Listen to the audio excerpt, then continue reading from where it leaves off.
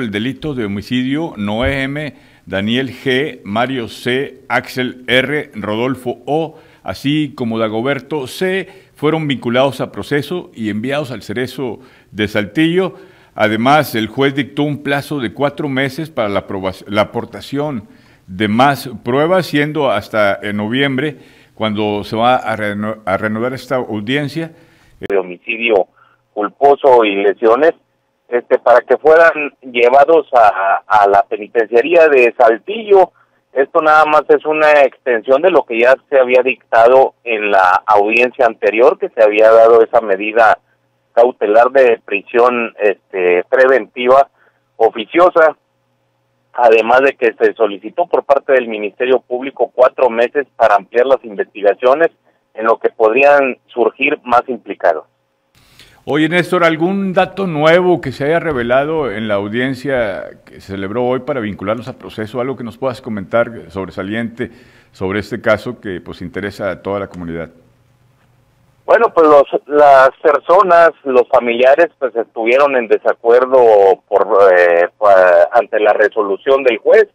Los tres este, abogados defensores, entre ellos el licenciado Gerardo Alvarado Peña, César García Diosdado y Alain Obed Mendoza, pues eh, trataban de, de, evitar esta vinculación argumentando una serie de, de situaciones, por ejemplo, en el caso de, de Roberto N., bueno, pues eh, aseguraban que él no fue autor directo en la golpiza que se les dio, sin embargo, pues eh, muchas situaciones lo incriminaban con que él tenía conocimiento pleno de que se le iba a aplicar un castigo a Loy Oxiso y a otras dos personas que fueron eh, producto del intento de, de fuga de, de este anexo.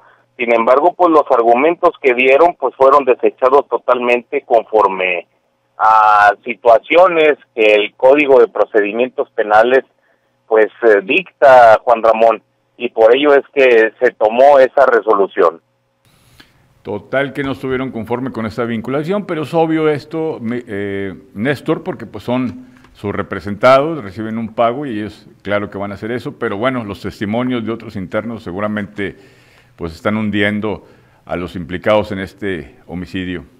Así es, Juan Ramón, por ejemplo, también el caso de que le hablaron a, al supuesto médico de, del anexo, quien es solamente pasante, no tiene aún la cédula profesional, entonces el juez consideró que está imposibilitado para dar algún tipo de dictamen y más dime si las lesiones eran sumamente este delicadas o mortales por necesidad como la que la que presentaba el hoyo oxiso y que a la postre pues lo llevó a, a la muerte. Entonces pues eh, declaraciones de mismos trabajadores de ahí que observaron cómo se les daban las golpizas y las series de castigos que se les aplicaban, pues eso están terminando por hundirlos.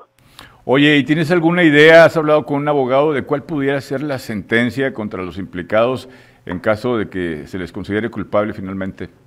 Se, se está apelando la, la, el, el delito, Juan Ramón. De hecho, uno de los puntos que se tocaron es de que se quería reclasificar el delito, los abogados defensores trataban de buscar la reclasificación argumentando de que en lugar de homicidio doloso, que es con toda la intención, se cambiara culposo. Ahorita no te puedo dar una respuesta de cuánto sería eso porque todavía está en veremos si se acepta ese tipo de, de situaciones.